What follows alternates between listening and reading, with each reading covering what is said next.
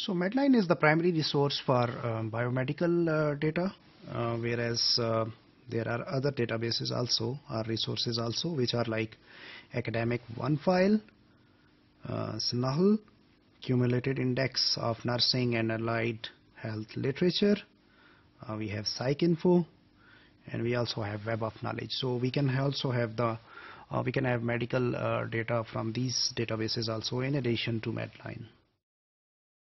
Uh, academic OneFile lists articles uh, from journals covering broad range of other subjects, but as I said earlier, uh, you can also have medical data, though its primary focus is not on medical data.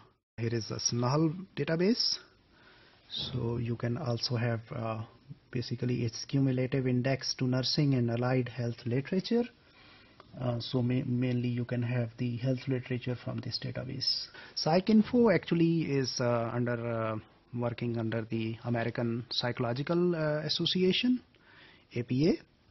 Uh, same that also has um, text, um, the the literature referencing styles. So you might have known about APA or heard of APA before that.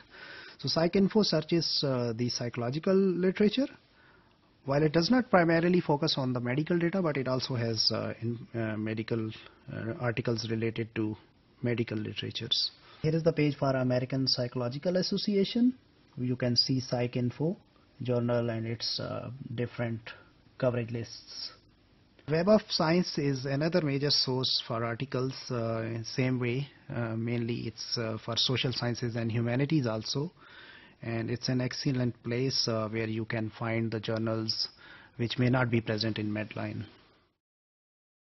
So in the end we conclude that informatics in the healthcare is also called as health informatics and medical databases they deal with the acquisition and storage and retrieval of the medical data.